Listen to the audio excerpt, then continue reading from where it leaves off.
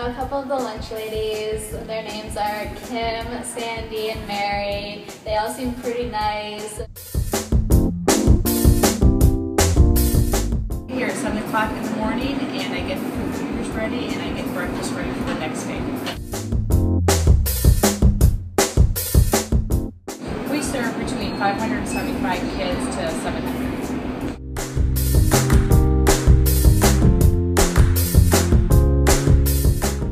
My favorite lunch at Xavier is spaghetti and breadsticks because I like pasta.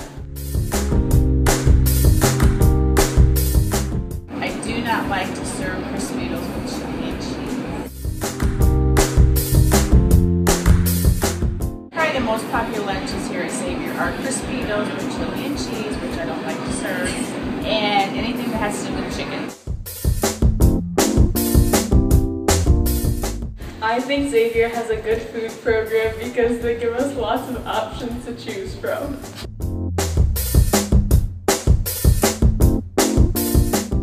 Favorite part about being a lunch lady is that there's 10, between 10 and 12 of us every day, and we get along, and we always have fun and we crack jokes, and we even make fun of each other.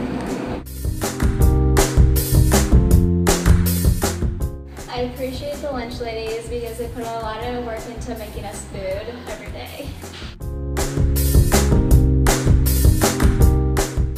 Way the lunchroom has changed since last year is we have to serve different rice. We can we don't bake anything from scratch anymore for like desserts, which the kids always love having. Um, we're doing a lot of whole grain It's in the regular flour and all the ingredients for pizza and chicken nuggets, all the ingredients be whole grain. And we have to have so many calories in the meals